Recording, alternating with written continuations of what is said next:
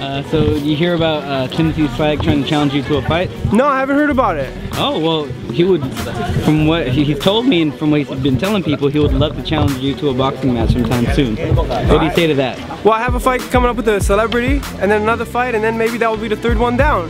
Okay. But we'll see. Hey, I'm down. If Well, it's what good. weight are you gonna fight at?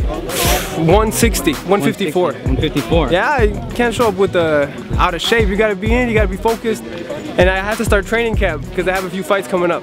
Okay. Is he? A, what can you tell me about him? Is he a good fighter? Is he have a? Is he a southpaw? Is he a Uh, he's an orthodox? orthodox fighter. He's an orthodox fighter. He's ambidextrous, but uh, what weight would you like to meet him at if you could choose a weight? 154. 154? I don't Yeah. think you get that low, but Hey, Sergio Martinez is willing to Yeah. meet Floyd Mayweather at Manny Pacquiao 147. Timothy, come on, man. You gonna meet me? okay. Thanks.